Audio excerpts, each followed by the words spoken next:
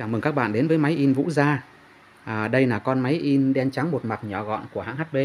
Model là HP Laser ZP 1006. À, hôm nay video này á, mình không giới thiệu máy mà có một bạn ở trên YouTube có hỏi mình về cái sự cố là cái nút nguồn của cái dòng HP 1006. Các bạn ấy ấn rất là khó, nhiều nút ờ, nút được, nút không và thậm chí có những lúc ấn hoài không có được. À, thì đấy, đây cũng là một sự cố rất là hay.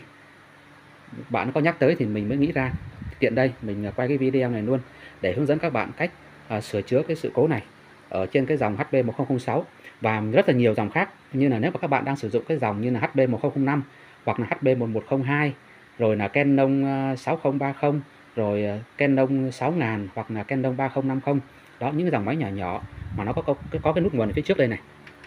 Thì đến giờ phút này là nó hầu hết là cũng đã xảy ra cái sự cố này rồi à, đó là ấn nguồn nút được nút không hoặc là ấn khéo khéo thì mãi mới được một lần. Và nhiều nút ấn không lên luôn. Có nhiều bạn thì cầm máy tới bên mình sửa là tưởng hư nút nguồn à tưởng tưởng là hư nguồn luôn.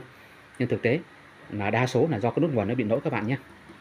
Rồi à, bây giờ để biết à, hư hỏng cái gì và sửa chữa làm sao các bạn là xem tiếp video nhé.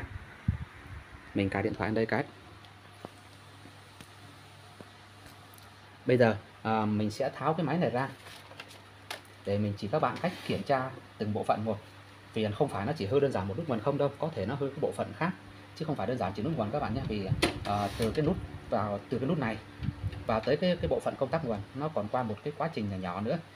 Đôi khi nó không hư cái nút ờ, cái công tắc nguồn mà nó hư cái nút ở phía ngoài này cũng có thể gây ra lỗi đó các bạn ạ. Rồi bây giờ mình sẽ tháo máy ra kiểm tra.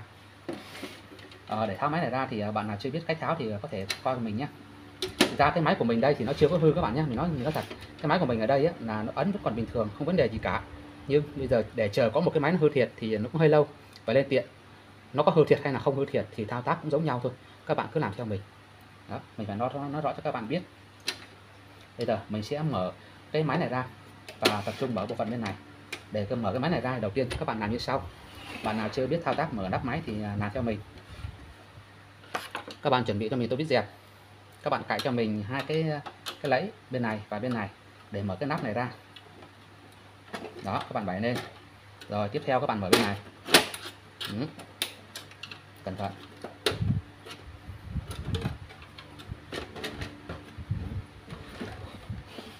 Rồi, hai tay các bạn cầm, các bạn mở lên thôi. Bẻ lên. Đó. Rồi, để qua một bên.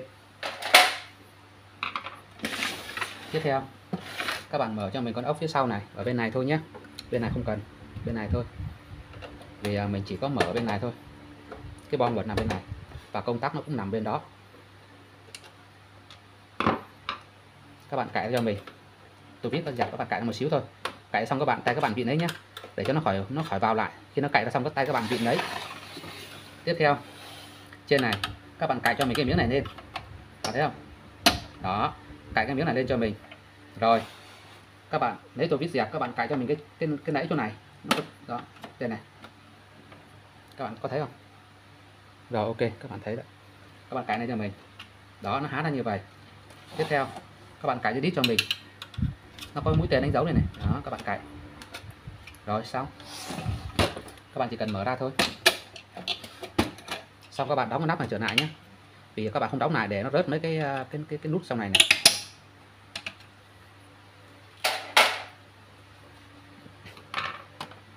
Máy của mình hơi bụi bẩn một xíu. Nói chung là thôi. À, cái quá trình vệ sinh mình sẽ bỏ qua các bạn nhé. Vì máy này mình còn phải làm lại vì đây máy của bên mình. Vì máy này mình chưa dọn chưa vệ sinh gì hết. Chút xíu là mình sẽ quay xong rồi mình sẽ cho lính dọn. Bây giờ mình sẽ chỉ cho các bạn tập trung vào cái chuyên môn nhé. Đầu tiên các bạn kiểm tra cho mình. Mình tạm thời để cái máy này qua bên. Đây. Đây là cái nút các bạn này. Cái nút này á các bạn phải kiểm tra cho mình phía bên trong này xem là nó có bị gãy gì không các bạn nhé. Nhìn chung là nếu như các bạn mà không có một cái máy thứ hai các bạn chưa tháo bao giờ thì các bạn không, không biết được rằng là cái nút đó hình thù thế nào mới đúng. Và đôi khi nó có gãy gãy mà nó gãy đẹp quá không phát hiện ra thì à, đúng là không biết được thật. Nhưng mà qua video của mình đây các bạn nhìn kỹ này. Đó cái nút nó như vậy này. Như vậy còn ok này. Đó tất cả các ngàm của nó là còn ok này. Không bị bể gãy gì này. Đó các bạn nhìn kỹ cái nút của mình nhé. Để các bạn có tháo ra thì các bạn biết là cái nút của các bạn còn tốt hay không có có ổn hay không. Đó nút như vậy là ok tiếp theo là tới phần bên này. Cái nút nó sẽ tương tác vào cái chỗ này các bạn này. Đó, ấn rồi nó ấn vào đây này. Đó. nó ấn vào đây này. Rồi sau đó, khi nó ấn là cái cần này, nó sẽ tương tác vào cái trên bo này, công tắc trên bo này. Đó, các bạn thấy không? Thì bây giờ mình phải kiểm tra cái này có bị gãy không? Đây, như của mình như vậy là bình thường các bạn nhé. Nó nằm đúng vị trí này. Nó được cài đúng vị trí là một chân, hai chân, ba chân này. Nó cài đúng vị trí này. Rồi, cái cần này nó còn nguyên này khi mình ấn thử này đó nó vẫn nhả lại bình thường này. Thì uh, cái cái nắp này còn ok. Đó.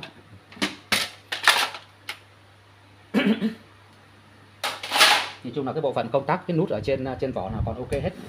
Rồi vậy là nguyên nhân chính nó sẽ nằm ở cái con cảm biến này. À, xin lỗi các bạn không phải cảm biến à, mà là cái công tắc. Công tắc nguồn ở trên cái bo này. Đây công tắc nguồn này nó là cái dạng cái nút ấn vô ấn ra thôi. Nó chạm vào, nó tắt và chạm vào, nó mở thôi.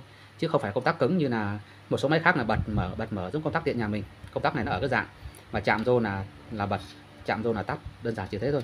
Cái công tắc này thông thường là khi mà sử dụng nhiều năm rồi ấy, là nó sẽ bị bám bụi bẩn, bám cho ở trong các bạn. Nó nó thật. Khi các bạn ấn vô rất là khó. Nhiệm vụ của mình bây giờ là vệ sinh con này. Để tháo con này ra, vệ sinh thì không thể tháo được rồi nói chung là kỹ thuật chuyên thì có thể là dùng bò hàn để tháo ra làm thì được chứ còn đối với người dùng các bạn thì không thể tháo ra được. Vậy nên mình sẽ không thể hướng dẫn các bạn cách tháo. Các bạn à, chuẩn bị cho mình một cái chai là chai RB7 đây các bạn. Các bạn à, chuẩn bị cho mình một chai RB7 nhìn chung là trong cuộc đời sửa chữa của mình lúc nào cũng gắn liền với chai RB7 chai này thì nó mua ngoài cũng rẻ thôi các bạn. Các bạn mua chai nhỏ nó khoảng cỡ mấy chục ngàn á. Các bạn mua về thì nhìn chung là trong gia đình còn sử dụng nhiều lắm. Còn các bạn là kỹ thuật chắc phải dùng thường xuyên rồi. Đó, chai này nói chung là làm nghề của mình không thể thiếu chai này được. Các bạn mua loại tốt nhé cái loại RV7 mà để phá gì xét nhá chứ không phải cái loại RV7 thì chỉ là bôi trơn đâu nhá nó khác nhau. Các bạn phải mua cái loại RV7 mà chống rỉ sét nó có tác dụng nhé chứ mà cái chai RV7 mà chỉ bôi chân không là không có tác dụng đâu. Đó các bạn phải lưu ý nhé chứ không phải cứ thích chữ, chữ RV7 nó các bạn um, mua là được đâu. Rồi nhiệm vụ của mình là mình sẽ xịt vào trong cái cái nút này các bạn chuẩn bị cho mình ít giấy vệ sinh. Giấy vệ sinh các bạn. Mình sẽ che chắn cái phần này lại. Che chắn cái phần này lại mình chỉ để cái phần nút này ra thôi. Vì à, nó công nó văng ra tùm lum ra bo. Nó không tốt các bạn nhé. Bây giờ các bạn coi mình làm này. Mình sẽ xịt cái R7 vào cái nút này. Xịt một ít thôi. Rồi mình sẽ dùng tay mình nắc nắc nắc nắc nắc nắc. Đó mình di di di di, di cái nút này. Mục đích là để cho R7 nó ngấm vào trong rồi ờ, nó sẽ ờ, tương tác vào cái bụi bẩn và tay mình di di di, di như vậy là nó cũng sẽ làm cho làm sạch cái cái, cái lá đồng tiếp xúc ở bên trong của cái cái nút đó. Và tiếp theo mình lại xịt tiếp. Xịt ít cho các bạn nha không phải xịt nhiều xịt nhiều nó đổ đầy ra bo đó. Rồi mình sẽ nắc nắc nắc nắc tiếp. Mình ấn cái nút kia vào và, và mình tay mình di di di di nắc qua nắp lại thôi chứ không cần ấn mạnh quá các bạn nhé. Các bạn ấn mạnh quá hoặc là các bạn dùng kìm các bạn bóp vào là nó làm bể cái cái cái công tắc nó hỏng luôn đấy mình chỉ có bình thường thôi. Đấy, mình coi như mình ấn bình thường và mình nắp nắp thôi. Đó. mục đích là mình làm nhiều lần. Lần đầu tiên là để rơi bảy nó ngấm vào, nó làm sạch. Rồi lần thứ hai nữa là rơi bảy nó ngấm vào, nó cũng làm sạch. Và đến lần thứ ba nữa là có khả năng là rơi bảy nó vào là nó sẽ rửa sạch sẽ luôn.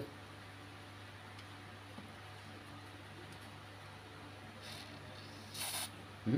Và bây giờ mình ấn cái nút vào và mình đồng thời mình cũng xịt luôn, để cho rơi bảy nó vào sâu hơn, vào nhiều hơn, để rửa sạch cái bụi bẩn ấy đi cho nó trôi ra ngoài luôn. Nhìn chung là cái sự cố này á, thì à, mình trong cuộc đời à, sửa chữa của mình gặp nhiều lắm các bạn, không chỉ ở cái máy này, còn nhiều máy khác nữa. Gặp rất là nhiều các bạn.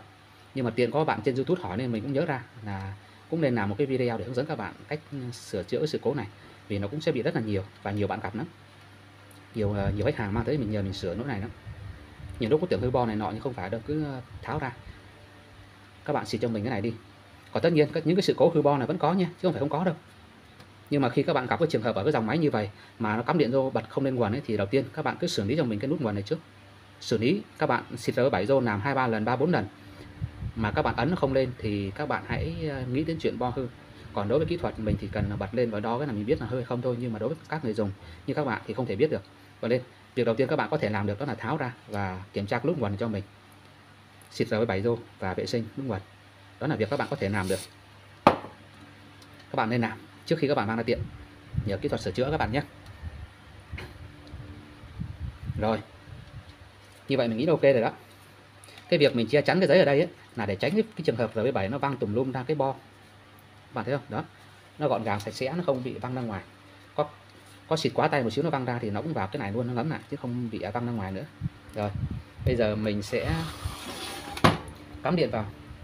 Mình bật nguồn lên thử cho các bạn coi này. À, khi bo mạch các bạn đã tháo vỏ ra các bạn cẩn thận điện đóm nhé chứ không phải đơn giản đâu. Các bạn đừng có rờ tay vào khu vực dưới này nhé. Các bạn rờ tay vào công tắc nguồn chỗ này thì ok chứ các bạn đụng tay vào phần dưới này điện nó giật cho các bạn. Rồi bây giờ bật còn thử các bạn nhé. Đó có điện các bạn thấy không? Cái đèn nó sáng này. Cái đèn nguồn nó sáng đây này. Ừ. rồi mình tắt điện này. Các bạn thấy không? Này. Máy nó chưa khởi động đâu vì không có hộp mực nên máy nó không khởi động. Đây mình sẽ bật cho các bạn coi thử nhé. Bây giờ mình tắt nguồn này đó đèn tắt này. Bây giờ bật nguồn này. Đó đèn nó sáng các bạn vậy là có nguồn rồi đó. Chỉ cần ấn nhẹ nhàng là được thôi không cần phải ấn mạnh tay. Đó. trước khi các bạn ráp vỏ rồi thì các bạn phải kiểm tra các bạn ấn xem có được hay không. Chứ đôi khi là các bạn uh, cứ xịt xịt xịt thoải mái xong đến lúc các bạn ráp vô rồi ấn cũng không được mất công mất thời gian của các bạn. Rồi vậy là các bạn đã xử lý xong rồi đó. Uh, bây giờ mình sẽ ráp lại. Uh, nhưng mà khi các bạn các bạn ờ, đã làm như mình chỉ nãy giờ đấy. Như mình làm nãy giờ rất là kỹ rồi đấy chứ không phải là không kỹ đâu làm rất là kỹ đó. Nếu các bạn làm như vậy rồi mà vẫn không được ấy, thì các bạn thử làm thử thêm một lần nữa. Trước khi các bạn quyết định là cái bong vần các bạn có hư không nhé. À và một cái nữa các bạn phải kiểm kiểm tra lại cái dây cáp. Dây cáp và ổ cắm. Các bạn nhé rất là nhiều khách hàng bên máy tới sửa xong máy không hư mà nguyên nhân là do dây cáp và nên các bạn với video sửa chữa này là các bạn phải loại trừ tất cả các yếu tố là ổ cắm và dây cáp ra. Chỉ còn liên quan tới cái máy thôi đó. Thì các bạn hãy làm theo. Rồi, bây giờ ráp vào. Bạn nào chưa biết cách ráp thì làm theo mình. Có hai cái chốt ở trên vỏ và có hai chốt đây. Các bạn đặt vô cái vỏ vào đúng vị trí hai cái chốt ở trên phần trước là trước. Cái chỗ này, bình thường lúc nãy là mình đóng xuống rồi đúng không? Bây giờ các bạn phải mở nó lên. Các bạn mà không mở lên, cứ vậy các bạn đẩy vô này gãy đấy gãy cần đây này. Rồi các bạn đóng nắp này. Đó ấn mạnh tay vô là được. Rồi khi vỏ đã vào sát phần sau này vào sát hết tất cả rồi. Ấn cái này xuống. Chú ý nó có hai cái lỗ đèn hai bên này và cái nút chỗ này. Các bạn phải để ý con nó có đúng hay chưa. Ấn xuống được khi mà nó chưa vào đúng khớp á. Các bạn ấn xuống là nó không đúng với vị trí nhau là nó sẽ cấn không vào được. À, mình đẩy cố vào là nó sẽ làm bể. Rồi tiếp theo ráp cái phần vỏ này vào. Phần vỏ này ráp đơn giản thôi có ba cái bốn cái lỗ này. Một hai ba bốn này. Nó tương ứng với bốn cái ngàm trên đây này. Một hai ba và bốn này. Đầu tiên các bạn đặt cho mình cái ngàm ở phần trên này vào trước đúng vị trí. Đó. Đó đúng vị trí này, này. Tay trên này các bạn bóp giữ lấy cái phần trên này. Phần dưới các bạn việc đẩy rô cho mình. Mạnh tay lên. Đó mạnh mẽ lên. Rồi đẩy lại phần trên này vào lại. Đó. Vậy là xong. Bây giờ mình sẽ cho hộp mực vào mình in thử cái nhé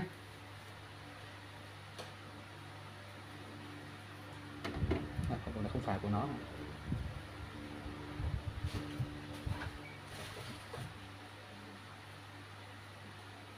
chết rồi hiện tại giờ mình cũng không có hộp mực cũ nào ngoài. Hộp mực mới mất công thôi mình không xé đâu. Bây giờ mình cắm điện vô mình bật thử cho các bạn coi này. Còn toàn hộp mực mới thôi mình không muốn tháo ra. Đó bật nguồn này. Đó điện sáng này. Ừ. à, ấn cái ấn cái này tắt này. Ấn cái là mở này. Đó nó phải nhạy như vậy mới được các bạn nhé. Các bạn làm gì làm nó phải nhạy như vậy này. Đó ấn nhẹ cái này tắt này. Ấn nhẹ cái này mở này. Rồi xong à, vậy là nãy giờ mình đã hướng dẫn các bạn cách để à, sửa cái à, sự cố cái à, nút nguồn của cái dòng HP1006 à, ấn rất là khó nút lên nút không và thậm chí có nhiều lúc ấn không lên.